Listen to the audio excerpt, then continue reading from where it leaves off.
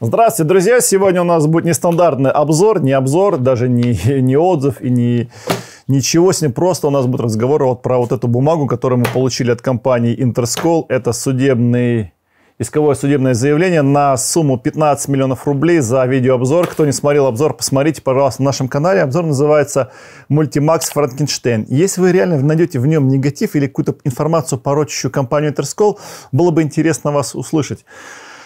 Э, но компания Interscol ее нашла. Э, по сути, давайте вернемся к вообще концепции YouTube. YouTube это платформа, на которой, вот тут даже если зайти об информацию о YouTube, есть такая вот всплывашка, и есть вот э, такой текст.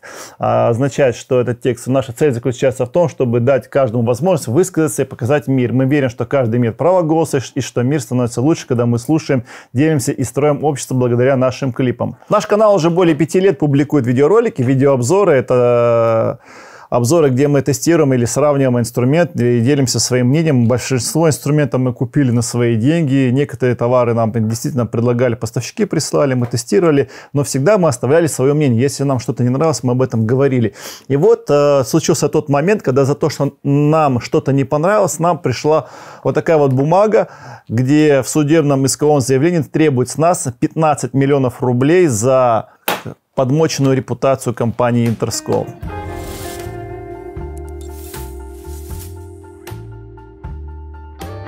Что такое видеоблогинг? Да, это интернет-явление, включающее в себя создание, выкладывание в сеть видеоматериалов на ту или иную тематику в выбранном автором формате, соответствующему жанру, рассчитанном на определенную аудиторию с целью заработка и увеличения аудитории. Аудитории. А, не денег, а аудитории. О, не Заработок, увеличение аудитории. Но заработок у нас ушел с монетизации, поэтому такое увеличение аудитории.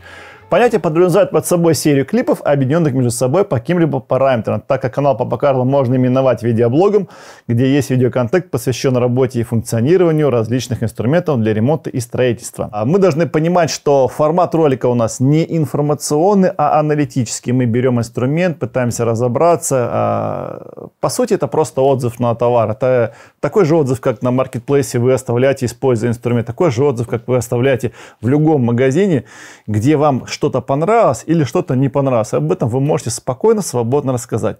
Мы это спокойно и свободно говорим на площадке YouTube, но кому-то это наше не очень понравилось мнение. Молча 5 звездочек. Да, не 5 звезд получилось. Э, Петя, к сожалению, в кадре не будет, но Петя находится рядом. На самом деле в видеоролике участвовал Петр, в основном и Юрий. Я участвовал там эпизодично, но мнение свое они оставили об инструменте. И тут получается так, что именно за мнение блогеров их пытаются сейчас э, на 15 миллионов наказать. Компания называет это словом наказать, потому что если вас не наказали, значит вы безнаказаны и будете еще больше чудить.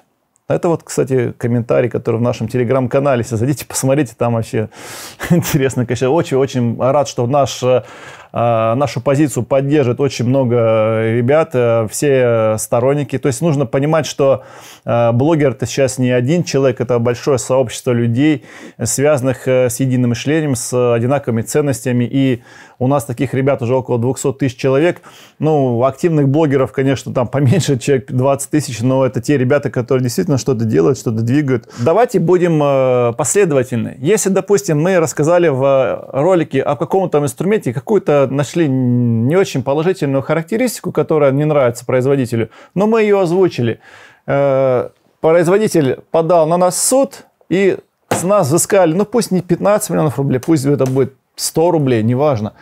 Но произойдет прецедент, когда нас, блогеров, да любого человека, который свое мнение высказал, уже не даже, можно сказать, и не в э, Ютубе, в, в Телеграме, вы высказали свое мнение по инструменту, да любому продукту, это будет автомобиль, допустим, отзыв, или на любую, там, ну, платье не понравилось, вот здесь вот мне что-то жмет, как бы, а потом вам говорят, а вы что, охерели, да? Что оно вам там жмет? Вот э, вы говорите, что у нас неудобные платья, а у вас, может, фигура дерьмовая, да? И, значит, вы нам должны за то, что вы репутацию нашего бренда портите, э, вы должны нам 15 миллионов рублей.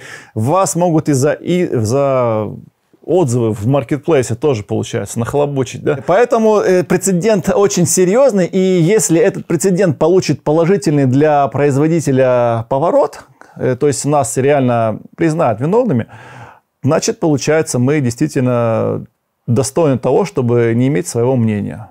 Мы достойны этого. Иметь-то можно, высказывать а, а если, да, да, а если, допустим, получится так, что мы все-таки выигрываем суд, да, то получается компания, подавшая на нас суд, эм, ну, ребята на самом деле не очень, э, скажем так, себе репутацию подмочат. То есть э, ребята становятся токсичными, и с такими компаниями никто уже не захочет иметь дело. Ни поставщики, ни потребители, э, ни дилеры, ни никто. Потому что в любой момент за всякую херню вас могут наказать. Вы будете наказаны за все, что вам не нравится.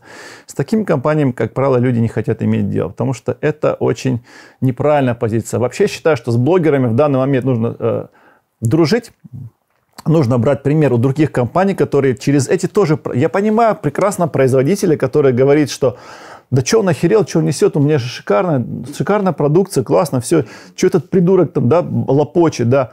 Но вы знаете, бывает реально, вот у любой продукции есть плюсы и минусы, и а, у нас есть, допустим, та же самая компания, там, Штурм Ханскёрн, они говорят, у меня, говорит, кровью сердце обливается, когда вы, говорит, поносите, говорит, мой инструмент. Но он достойно принимает эти минусы. И знаете, что самое забавное? Они, та же самая компания Зубр, да, у которой горели здесь станки у нас в, в студии, постоянно там э, болгарки что-то выходили из строя, аккумуляторные, помнится, там что-то ну, они вообще говорят, да, ребята, говорят, да похер, пускай горит, вообще плевать, у нас и так из-за того, что вы просто это все показываете, у нас это, это продается, все отлично идет, вообще проблем нет, мы только благодарны, когда мы показываем, что это недостаток, мы увидим, что следующие генерации, они этот недостаток исправляют. Для них они, это офигенная они обратная связь. Вы получаете обратную связь и возможность развиться. Если есть компании, которые этого не понимают, которые пытаются наказать тех, кто говорит то, что им не нравится, вы, ребята, у вас ваши пути развития, они, кстати, на мой взгляд, сейчас очень туманные век, век, когда сейчас люди опираются при выборе инструмента на мнение блогеров и покупают в большинстве случаев в, в сети этот товар, а, вы э, рассираясь, вы же сейчас, получается, иск не только да, нам кинули, вы кинули всем блогерам, которые в нашей сфере сейчас работают. Они, получается, теперь, ну, то же самое, канал, он уже закрыл ролики с интернетом, потому что там было э, прям таки, да, он говорит, ну, говно. Ну, его мнение такое, он взял там этот инструмент, так вот скинул через плечо и говорит, мне не понравился, вот это его мнение. Но он э, его понять можно, он не хочет этих геморроев, потому что сейчас на данный мы уже потратили около 350 тысяч рублей на судебные избира... разбирательства. И еще более того, мы потратим больше, мы знаем, что суд еще только в начале декабря будет, что это полмиллиона примерно будет, как минимум, да, это судебная экспертиза, работа юристов и так далее. Это полмиллиона рублей, то есть это те, еще суда не было, а уже на полмиллиона, получается, попали, да. То есть э, Кому это нахрен надо? То есть никто скажет, ну, на, мы не хотим, чтобы, может быть, у них даже ресурсов таких нет, чтобы такие э, операции проводить, да, им скажут, вот там вы виноваты, а они даже защититься нормально не смогут. Конечно, им не хочется это геморрой. Получается, что они что говорят? О, окей, тогда давайте мы этот инструмент снимем. То есть получается, что инструмент давления на блогеров, он сработал. То есть уже получается вот этот вот инструмент давления, он на некоторых сработал, они уже закрыли ролики. А если мы хоть один рубль проиграем, да, тогда получается все. Можно, в принципе, любой, любого блогера нахлобучить. Так, я, а... я так до сих пор и не понимаю до конца, чего они хотят этим добиться, вот этим иском. Ну, то есть, что они преследуют, а, какую как цель? Они, они написали у себя в Телеграме это наказать. То есть, ну, не в Телеграме, а мы ну, в Просто наказать? Да. Но это, это так... Нужно тех людей, которые много базарят про нас плохо, да, как они считают, что плохо, да, а мы, наоборот, э, под считаю, что да, находим их слабые стороны, которые можно улучшить. Если мы говорим, что маркетинг на компании Interschool для нас на очень низком уровне, то вам нужно, наверное, что-то поменять. Вам нужно поменять медиалиц, поменять тех людей, которые... Но если у вас мышление такое, что вам это норма, вы отрицаете наличие интернета, отрицаете наличие возможности проверить, где ваш товар сейчас производится, в каком месте. Это сейчас все сквозное. Может быть, вы не пользуетесь интернетом, но не надо за всех людей считать. Люди сейчас очень, очень быстро информацию получают. Не мы, это будет кто-то другой. Есть намного больше блогеров, которые напис, напис, э, записали ролики более жесткий, да, там, как и не быть, оказаться, да, то, то есть, э, ну, он не подключился к нам, да, с поддержкой, а все остальные блогеры там подключился с поддержкой, подключился с а сантехник, казалось бы, да, вообще не казалось, ну, классный мужик, просто ему большой респект, он подключился, мы в Телеграме, он там написал, что, ребята, мы с вами, все. А, очень, конечно, поддержка для нас очень важна, потому что чем больше людей будет в теме, тем э, меньше шансов у скажем так, недобросовестных ребят провернуть какую-то левую э, операцию, которая была бы теневая какая-то, да, которая бы была бы для нас, для всех блогеров э, неблагоприятна. А мы, как Д'Артаньяны, ищем точки роста. А, мы называем эти места, где проблемные места, где мы на, них вам указываем, да, всем производителям, вы их воспринимаете правильно. Вот мы когда были на э, Митиксе 2022, и, Петя, мы тогда подошли и сказали, у вас вот почему все время штурм, цвета разные, инструмент зеленый, ну, там темно-зеленый, они не соответствуют. Он говорит, мне очень понравился ответ – это наша точка роста. Вот и все. То есть он не сказал, да вам показалось, да вы дальтоник, да вас засудить надо, а может быть я вижу, что они одинаковые. Нет, такого не было. Он сказал, это наша точка роста. То есть он признал, что это э, проблема есть и сказал, что мы в этом направлении будем развиваться, мы будем эту проблему решать. Ведь это здорово, на самом деле, когда фирма тебя слышит, когда тебя слышит, когда тебе не говорят, что это бумага черная, все нормально, она такая, а ты такой, блин, да я же вижу, что она белая. Нет, она черная. А вот так должно быть. Итак, по поводу иска, у нас иск появился буквально в, где-то в середине лета, да, ну, пришла, во-первых, изначально в середине лета пришла претензия от Интерскола, пришла досудебная претензия. Мне сказали, ребята, ознакомьтесь с претензией.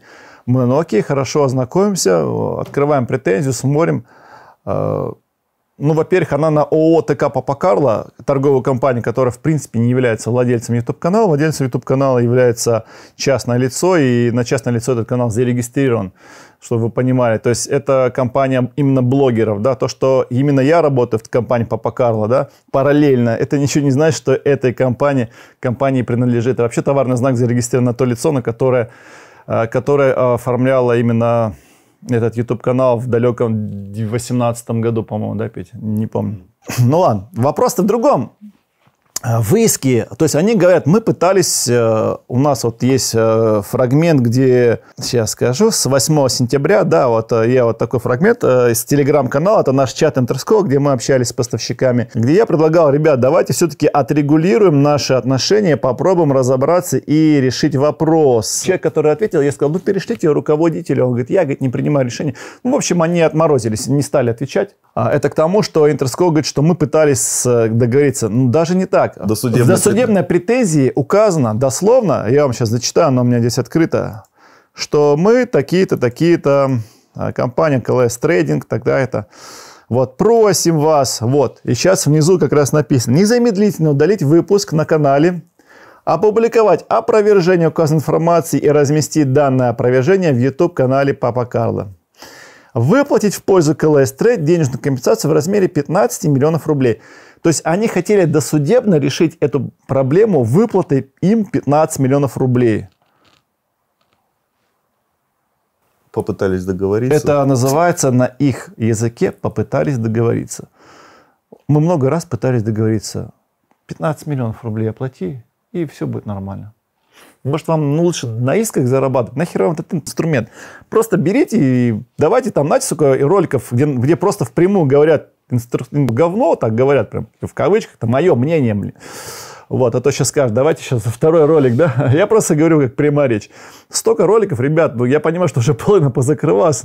Там такой плацдарм для 15 миллионов гуляй не хочу. Вот э, в ролике, в котором мы докопались, э, Франкенштейн, но я к нему сейчас чуть попозже вернусь. Итак, какие же причины были? Э, естественно, причины были более глубокие. Скорее всего, это не тот ролик, который мы сейчас будем разбирать. Изначально, конечно, скорее всего, за наши какие-то там подколы, приколы, да, кто-то просто из руководства, ну, я даже знаю, кто, я не буду называть фамилии, потому что не считаю, что это этично, а, посчитал, что вот это вот не есть красиво, это нехорошо, это вот про нас так нельзя говорить, мы просто богоизбранные, у нас вот такая вот есть богоизбранность, и вот такая вот про нас вообще нельзя говорить ничего, потому что мы... Хорошо или никак. Да, мы вообще священные. А, ну, извините, мы говорим про всех, про все одинаково. Как бы. Когда начинают нам пытаться, вот это эффект Барбары Стрейзен, да, пытаться запрещать что-то там, палки в колеса вставлять, тогда мы еще больше начинаем, ну, серьезно, это, это не нужно. Вот нужно дружить и все. Просто был же период, когда дружили с блогерами, вы даже дружили с блогерами, и даже нам прислали инструмент кое-какой на, на обзор. И, кстати, да, есть такой момент. Ну, правда, у нас там пылесос сгорел во время ролика. Мы, не, мы просто мы Ну, я Слушай, понимаю, ну, мы что... же не преследовали цель обосрать. У нас нет, нет же изначально при, при такой... Цель, цель обосрать нет, но мы просто, если есть э, какая-то, какой-то косяк, мы просто об этом не замолчим. А ну-ка сейчас мусор давай, вот он работает, работает, работает.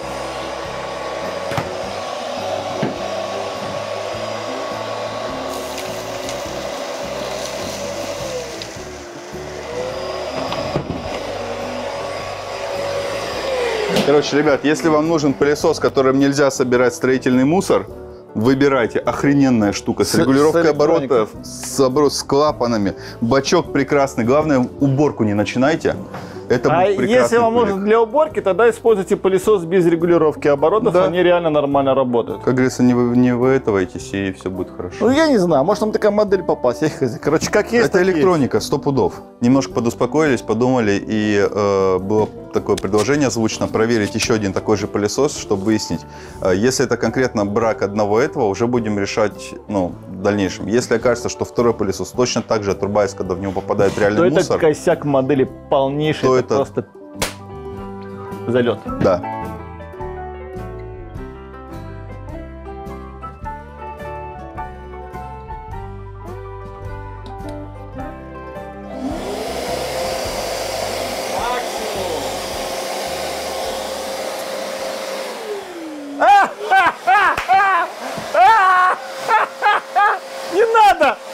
Даже не делай, короче.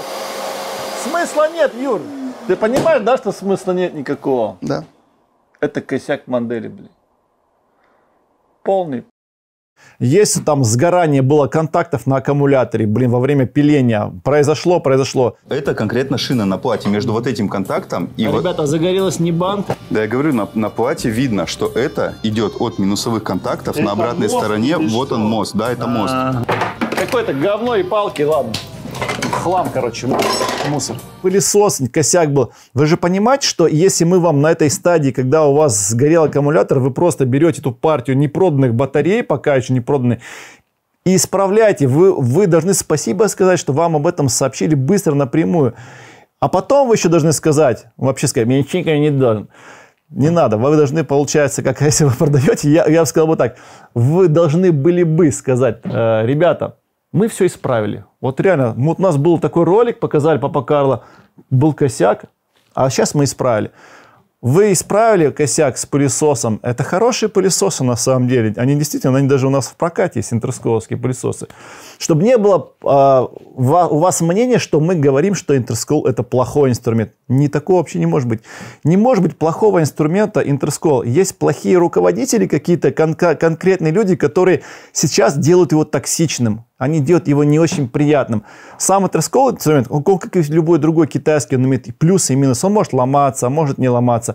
И если мы говорим то, что где-то в России производится, да дай бог, пускай производится. Если сейчас они запускают на бошевской Э, на Бошевском заводе в Энгельсе линейку интерсколского да, отлично. Или ушемок, это вообще супер. Я, я только рад. Я, я рад за то, что производители в России делали инструмент, который действительно делается в России. Но я не очень рад, когда нас пытаются за, за, притянуть за то, что мы говорим, что инструмент китайский, и он действительно делается в Китае, что что он российский. Я не, не хочу, чтобы мы в этом лицемерии, мы в этом лицемерии участвовать не будем. Хотите там кому-нибудь трите, мы вообще. Если мы считаем, что он китайский, мы говорим китайский. Если мы считаем, что он российский, мы говорим российский. Мы были на российском заводе, смотрели на российский инструмент, который производится. Нас пригласили, мы вас много раз просили пригласить нас на завод в Интерскол. Вы нас э, не посчитали нужно пригласить. Хотя вы считаете, что все еще производство у вас там какое-то есть. Я вообще без проблем. Я понимаю, что мы сейчас, мы сейчас тоже для вас стали токсичными, вы с нами не хотите иметь дело. Ну ладно, купите тех блогеров, пригласите тех блогеров, которые придут на ваш они покажут.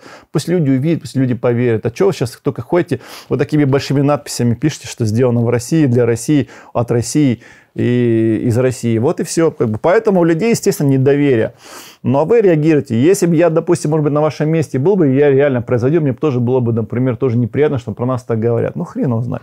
Ну, тут еще момент есть о том, что, может быть, мы говорим о том, что характеристики не соответствуют. Действительно, если мы считаем, что характеристики должны вот так вот написаны, заявлены, они должны хотя бы соответствовать. Мы знаем, что гайковерты не скажем так, может быть, они выдают эти ньютоны на метр, но они проигрывают тем же ньютоном на метром, который выдает та же самая Макита. Я вот хотел э, добавить немного про характеристики, то, что не нравится то, что заявленные характеристики не соответствуют.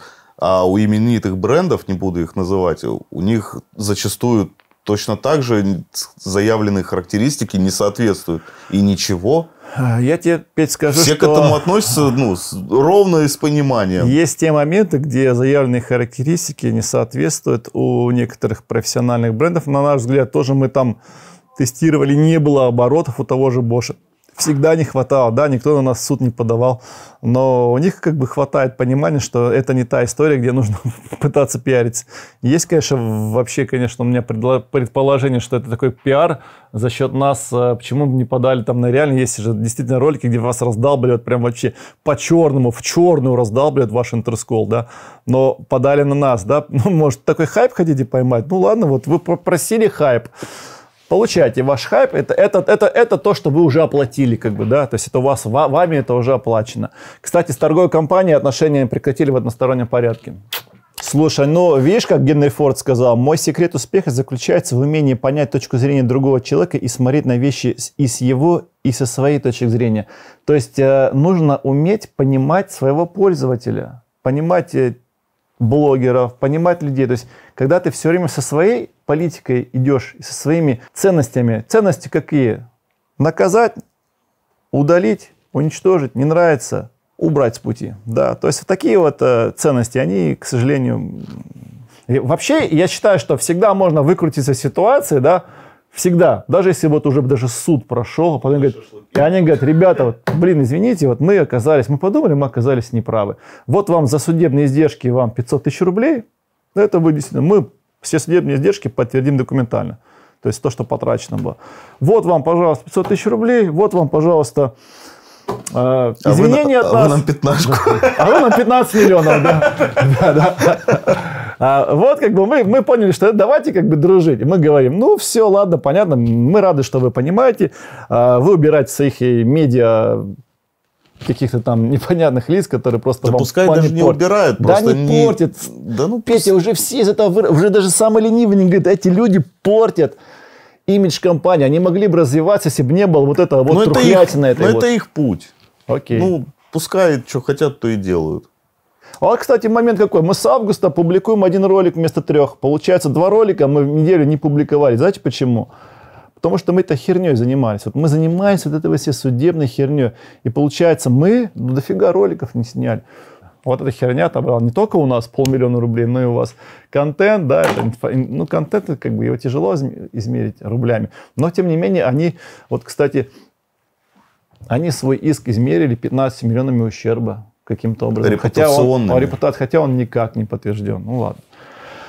Так, ладно, погнали дальше. Да, мы сейчас будем э, говорить, и внизу под роликом мы предложим, предложим, приложим сертификаты, архив сертификатов э, производства компании Терскол, где указано, что э, текущий ассортимент э, порядка 95% порядка производится в Китае. Я на самом деле не считаю что-то зазорное, что товар производится, допустим, э, закупается, производится в Китае. Но, на мой взгляд, ну, вся линейка 12-вольтовая, 40-вольтовая линейка, которая сейчас и на выставке была представлена, вот она, она вся производится на заводе ТМГ.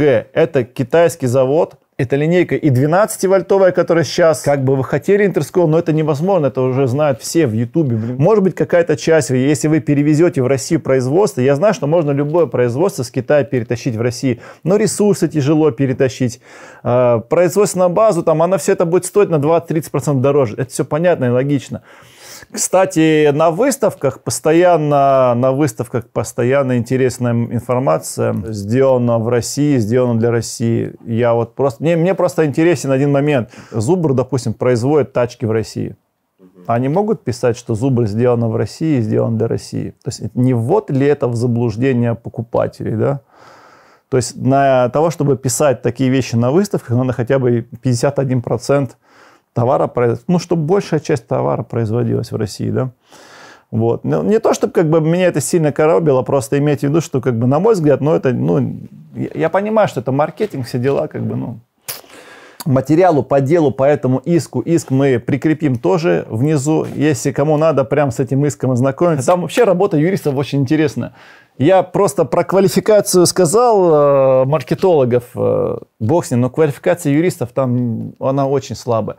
Во-первых, изначально подали в арбитраж, московск, московский арбитраж, иск. Московский арбитраж. Если вы уже на компанию подаете, да, почему-то на компанию, почему на компанию, странно, да, разобрались бы хотя бы, кто является владельцем YouTube-канала, да, а, подали на компанию, она находится в Краснодарском крае, получается, арбитраж. Подали они арбитраж на Москву. Мы думаем, наверное, специально подали, наверное, это, ну, так типа припугнуть.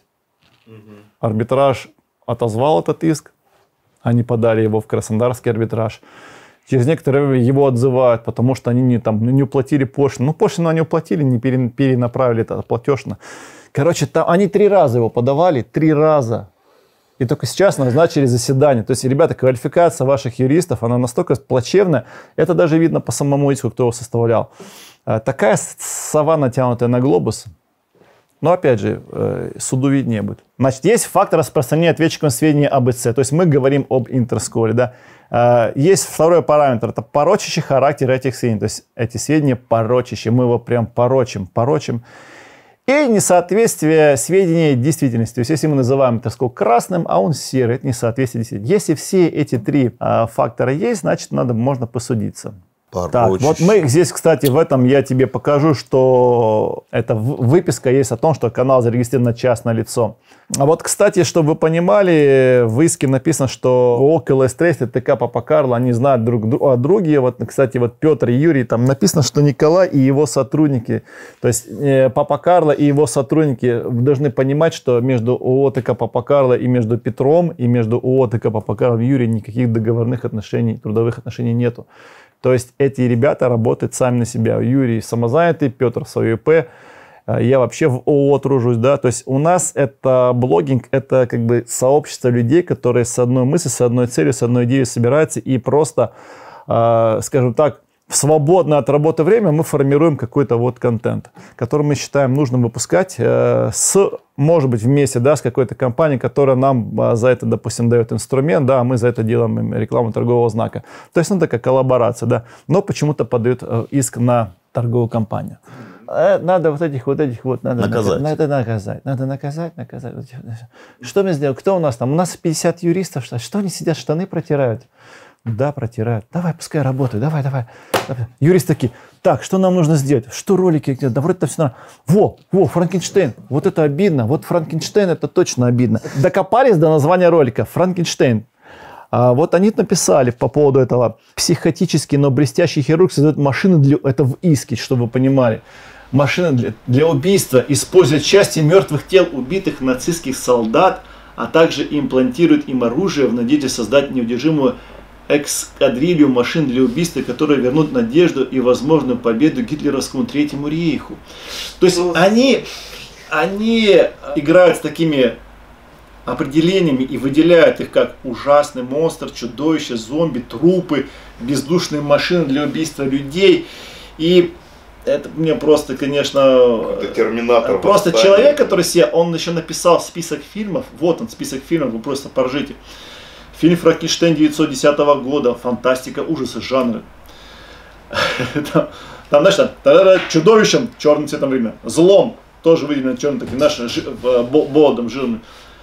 И, конечно, если этот список в иске идет на трех страницах фильма, список фильмов Франкенштейн, где там убийства. Фильмография какая-то. Получается. Да. А, даже подписчики в нашем ТГ-канале прям, о, спасибо, теперь будет что посмотреть. Список фильмов посмотреть на выходных. Да, может быть, конечно, фильмы каким-то образом, но, ребят, если честно, если мы говорим про Франкенштейн, да, чтобы вы понимали, это вообще-то ученый, да, который дал второй шанс, да, как это Интерскол, да, второй раз воскрес, да, начал работать после банкротства.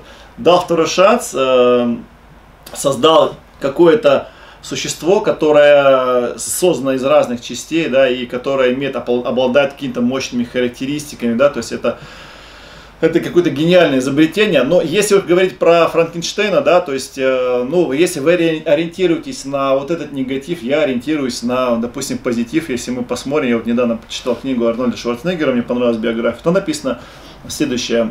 А мне понравился подход Джо к делу. Джо Ведер, это, кто не знает, наставник э, Арнольда. Он уже соткал обо мне целый миф. Я был немецкая машина совершенно ненадежной и безотказной, которая всегда работает и никогда не ломается. И Джо собирается применить свои знания и силы чтобы подобно Франкенштейнам оживить эту машину. То есть э, Арнольд о себе говорит как о Франкенштейне, то есть о той машине, которая на которой нужно поработать. Да. Вообще Франкенштейн это ученый, кстати, даже это не, не то, что он сделал, да.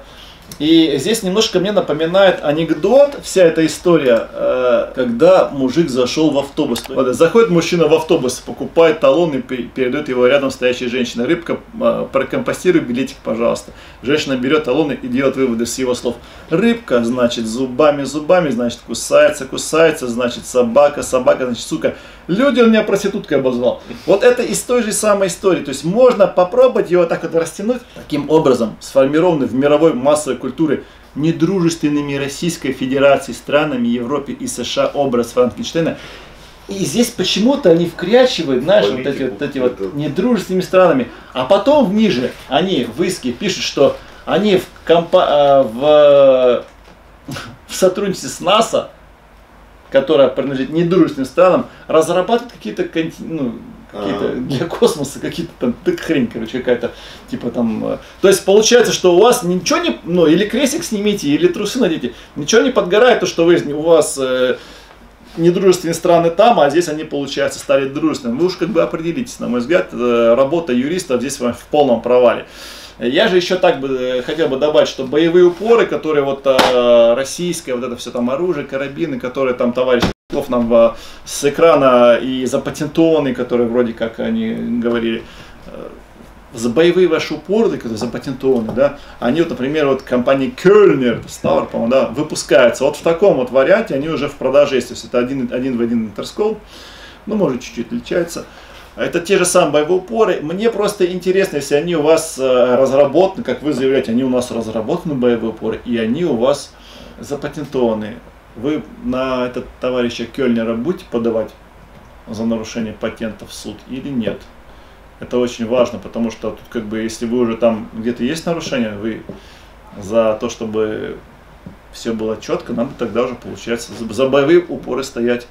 Итак, бытовой франкенштейн. Первая проблема, это первая претензия, которая, вернее, вторая уже получается, которая затронута в иске, это то, что э, наш инструмент, он безопасный, а вы говорите, что он опасный. Вот я показываю этот момент. Вот включатель этот не очень безопасен. Представь, вот ты ее устанавливаешь. Ты, конечно же, забыл снять палец с курка, а он у тебя здесь, и ты берешь... И все, и сразу минус пошел потому что небезопасно. Оно у вас еще не установлено. Ну ты сейчас... Ну не, не ломай. Мне интересно только один момент. Давайте вот реально посмотрим. Ну вот даже так, вот даже если мы не, не устанавливаем насадку, вот просто, ну реально бывает так, что у вас нету защиты от непреднамеренного запуска. Вот в этом устройстве чтобы вы понимали, что у других надо сначала одну кнопку нажать, потом вторую. У вас просто нажалось, да, нажалось просто, и она может нечаянно вот так вот нажаться. Одета, да, надета.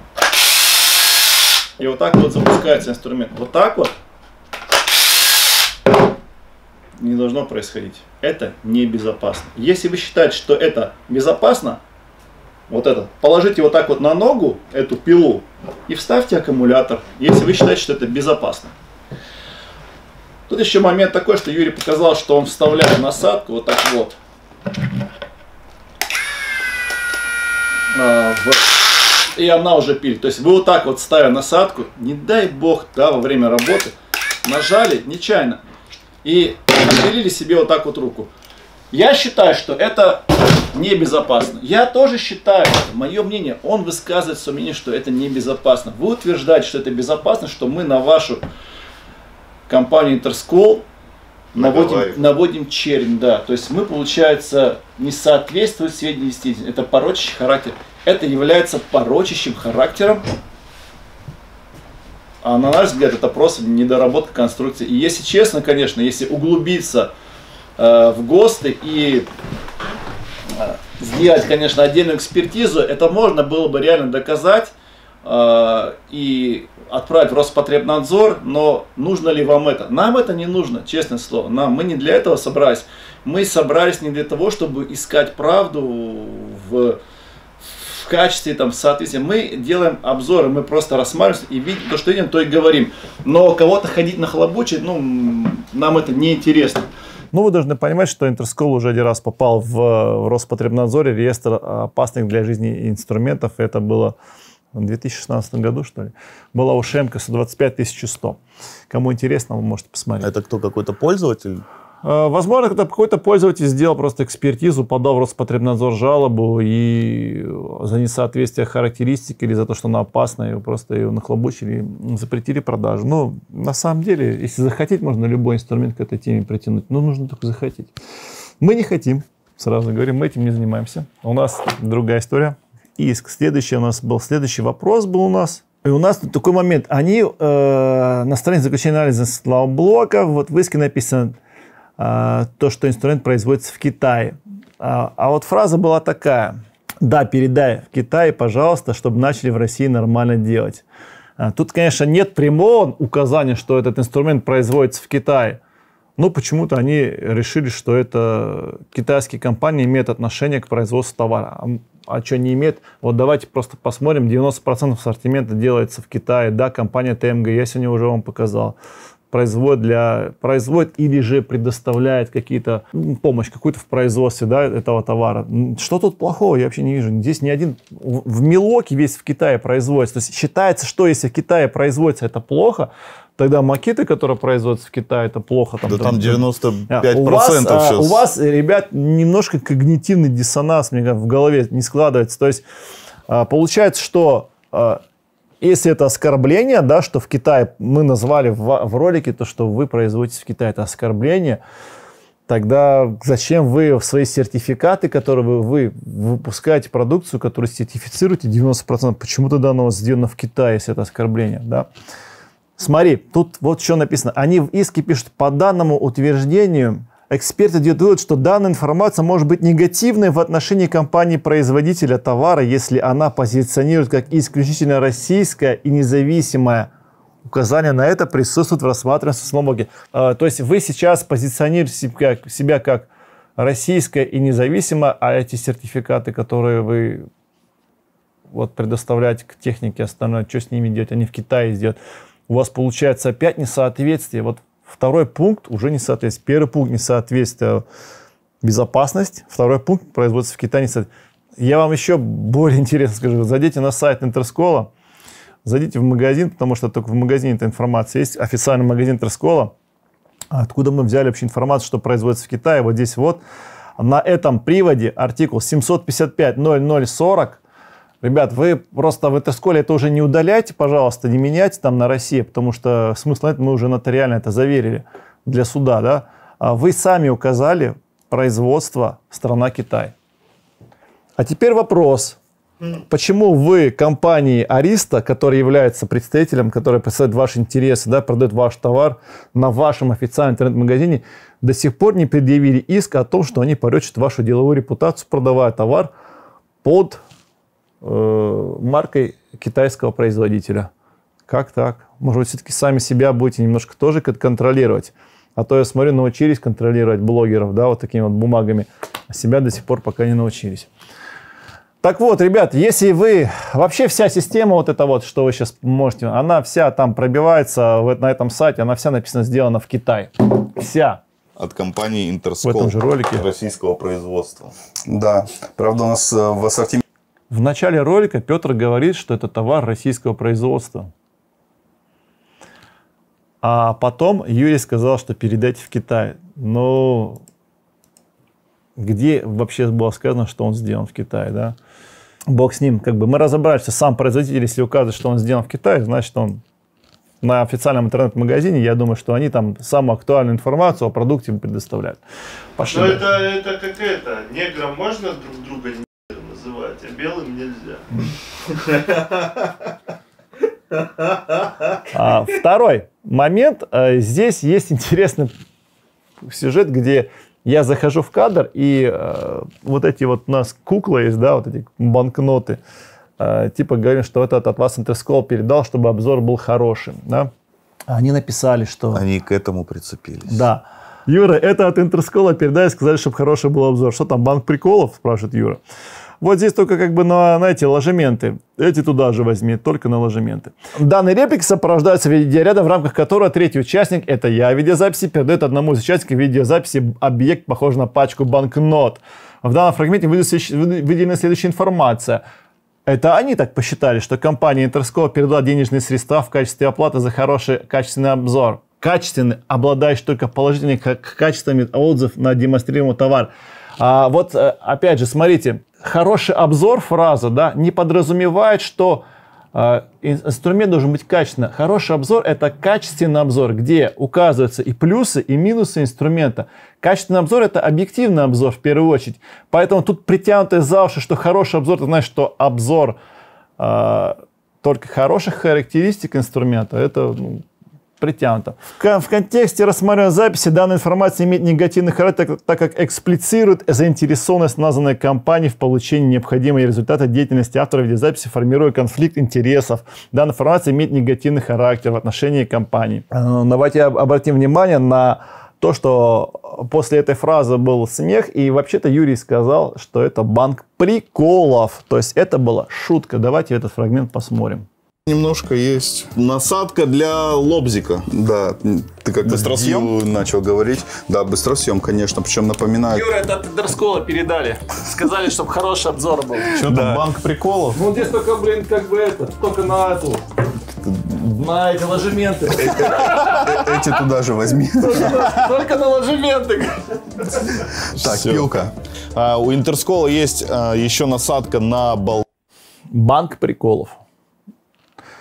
Если, конечно, ну, можно, конечно, попробовать попытаться, да, как-то там натянуть негатив, да, на компанию, но обзор, чтобы был хороший, это действительно, мы делаем только хороший обзор, мы плохие обзоры не делаем. А чтобы он был еще лучше, мы добавляем туда немножко приколов. Вот это как раз-таки тот самый прикол. Да, у нас есть такой штука, называется юмор, мы иногда его используем в обзорах. И тут еще следующее, последнее, да, наверное, сюжет, это то, что Интерскол сверлит медленнее. И большой такой фрагмент текста, не буду, наверное, читать. А, в общем, Интерскол э, очень недоволен, что компания Макита выпустила перфоратор, который сверлит быстрее. Так как они себя позиционируют как профессиональный инструмент, на сайте Интерскола этот привод и вся эта история как профессионально э, написано подходит для профессионального использования. Давайте сейчас еще раз откроем. Ну, слушай, а вообще такого понятия, как профессиональный, оно же, ну, его же не существует. А, Бытовой, профессиональный, это... Да, много, моно, многочасовое использование, это, наверное, профессиональный. Ну, написано вот на сайте у них, рекомендуется для профессионального... Вот это вот рекомендуется для профессионального использования. Ну, по нормативам это 8 часов в день. Да. Я думаю, что мы после этого ролика снимем небольшой сюжет, где мы поэкспериментируем, поработаем и посмотрим, насколько профессионально это можно использовать. Пожужжим немножко. Э, суть в том, что, получается, профессиональный перфоратор сделал, э, Макитовский сделал работу быстрее, чем Интерсковский. И нам предъявили претензию за счет того, что вы э, назвали наш инструмент непрофессиональным, потому что перфоратор сделал работу медленнее, чем Макитовский. Вы тем самым нанесли компании ущерб. И, и теперь, получается, компания Tesco хочет заткнуть нам рот а, даже на сравнительных тестах, если товар какой-то мы сравним друг с другом, и Interscroll медленнее, компания Interscroll а, оспаривает, то есть это теперь получается неправ, потому что их товар не может быть в принципе медленнее никогда, или хреновее работать, или медленнее, как мы там в этом ролике назвали. Может, они хотят, чтобы все, кто снимает э, подобного рода обзоры, они ни с, ни с кем другим, с другими инструментами вообще никогда не сравнивали. То я уверяю, что он не будет сравниваться. А тебе не смешно было, когда они на Митексе взяли свою 40-вольтовую болгарку, новую, которая, и начали с 18-вольтовыми моделями с остальными сравнивать? Мне кажется, вы с 40-вольтовой макетой сравните для интереса. Присылайте, мы сравним, интересно будет. Действительно, если она реально такая крутая, мы вообще сравним, она у вас будет пушка, вот на самом деле крутая. Да что присылайте, может мы ее купим, посмотрим. Заклеим этикетку, нарисуем какой-нибудь какой-то приколюшку какую-нибудь. И тут еще второй момент. Для того, чтобы сделать отверстие для крепления картины или бойлера инструментом Интерскол, необходимо затратить много времени. тебе нужно раз в год там, твои слова, кстати, тебе нужно раз в год там повесить картину и повесить бойлер. Да, ты просто пробуришь, э, ну да, пускай три часа, но ты можешь сделать это спокойно. Данная информация выражена при помощи словосочетания три часа. То есть ты сказал, что она три часа будет бурить, и они говорят, три часа выражающие оценочную информацию долгое время в... То есть тебя судят за то, что ты сказал, что я этой, этим, этой насадкой Буду, буду сверлить буду три часа. Три, часа сверлить. Она, на мой взгляд, она, по моим ощущениям, она сверлит три часа. И ты такой, э, а куда 15 миллионов отдать? Отлично. Отличный подход. Ребята, ваши юристы просто лучше. Так некрасиво себя показать в иске, это надо просто еще суметь. Инструмент ИСКО может использовать для того, чтобы сделать одно отверстие, но не для изготовления множества отверстий. Если не, не кухню веш... если не кухню вешать в одно отверстие, то пойдет. Данная информация может рас... рассматриваться как негативно в отношении демонстрирования. Можно, конечно, сделать и 300-400 отверстий, но это долго, неудобно. Петру нравится два раза просветить в год подойдет. То есть, э, это мой подход. Да. Но по факту для профессионального мы считаем, что он не подходит. А тут э, компания считает, что ущерб э, от данного ролика... Ну, давайте так. Чем же все-таки заканчивается ролик? А, заканчивается ролик тем, что Петр все-таки положительное впечатление комплементарно об инструменте делает. Он говорит, я бы себе взял, рассказывает, что есть минусы, рассказывает, что есть плюсы. Для его работ этого было бы вполне достаточно. Он компактно помещает ящик. Это все в ролике указано. То есть суммарно по всем параметрам ролик получился комплементарным, позитивным. Если посмотреть на комментарии от популярным к непопулярным, там наверху в топе будут популярные комментарии, они такие, я бы такой инструмент взял, мне понравился. То есть, а в целом сюжет ролика получился положительным, и Ребята, где ущерб, нанесенный компанией Interscroll от этого ролика в размере 15 миллионов рублей? Во-первых, сумма ущерба никак не подтверждается, никак. Откуда, почему не 700 миллиардов, почему не, не триллион, не триллион? А, написали, что такая вот сумма.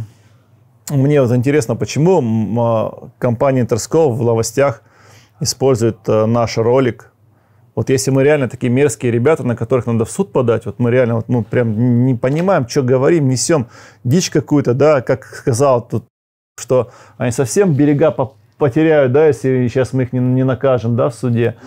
А зачем вы наши ролики используете в новостях на своем сайте? Вот, вот мне интересно, там вообще мое лицо. Я вообще вам разрешение давал, не давал на использование своего фейса да, на вашем сайте. Вы продаете продукцию, используете а, меня как амбассадора вашего бренда. Я не являюсь амбассадором вашего бренда, честное слово. Вы, наверное, что-то перепутали, но вы мое лицо используете на своем сайте. А, пожалуйста, удалите, пожалуйста. Я не хочу, чтобы вы использовали. Если вы, конечно, не хотите какой-нибудь встречный судебный иск. Вот. На самом деле, я, конечно, не настроен на судебные иски, но, ребят, давайте все-таки по чесноку. Я, я не разрешаю использовать эти ролики. Если уж кратце быть, э, все-таки закончить этот иск, конечно, все это очень сумбурно и получилось у нас немножко так вот скомкано, но факт тот, что иск этот притянут за пустую, за уши, и, конечно, мы не очень хотим судиться, но в любом случае в декабре у нас заседание, естественно, мы все эти передряги переживем. Э, как бы там ни было, кто из этих э, передряг выйдет победителем, кто проигравшим, время покажет. Надеюсь на то, что вы нас поддержите в первую очередь. Я не хотел бы, чтобы вы писали там на всех там матерсковских ресурсах вы там всякие там обидные фразы. Но от этого я не думаю, что там как-то станет легче. Я не думаю, что это правильный путь. Как бы. Просто вы просто выбирайте для себя, с кем вам комфортнее, с кем удобнее, какой бренд для вас считается правильным, честным. Да, я думаю, что больше всего будут привлекать внимание все-таки на себя. Это честные бренды, которые говорят все как есть по факту. Сейчас будущее именно за ними. А, собственно говоря, об этом мы и стараемся в наших обзорах говорить, потому что купленные обзоры, они не очень интересны на самом деле. Мы стараемся все-таки говорить, как есть по факту. Если получится так, что мы перестанем говорить правду и закроемся, если мы действительно просрем 15 миллионов рублей, да, наверное, придется закрыться, больше ничего не говорить, потому что тогда зачем, какой смысл что-то вообще говорить? В принципе, все, вы... Уби... Ну да, если любой на тебя может подать в суд. Вы убили, вы убили блогерство, вы убили э, мнение, вы убили свободу слова, вы убили в принципе, возможность что-то говорить на, в медиапространстве. Вы этого хотите, скорее всего, да, это вас, это, то, то, это вас, этого, вам это нужно контролировать. Э, я закончу эту всю историю просто одним скриншотом из одного чата э, строительного, где товарищ представитель как раз-таки об этом и мечтает, и вы оставьте свое мнение под комментариями, внизу в комментариях, что вы думаете по этому поводу. И оно будет для нас э, тоже достаточно важным. Э, просто оставляя комментарии или оставляя э, отзыв, плохой отзыв об институте Нитерского, вы должны понимать, что вы будете следующим. Всего доброго, пока.